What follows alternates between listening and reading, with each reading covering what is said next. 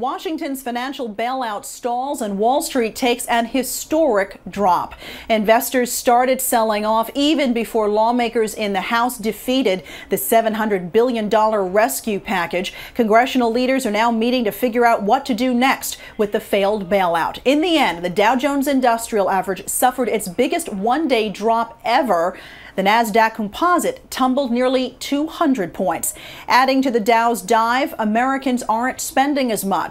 A new report found consumer spending was flat in August. It's the worst performance in six months. Europe is now seeing some of the same problems we are. Britain, Germany, and Belgium have stepped in to take over or help several troubled financial institutions. And Wachovia is the latest bank to be bought up. Citigroup will take over its former competitor by absorbing more than $50 billion in company losses, including bad mortgages.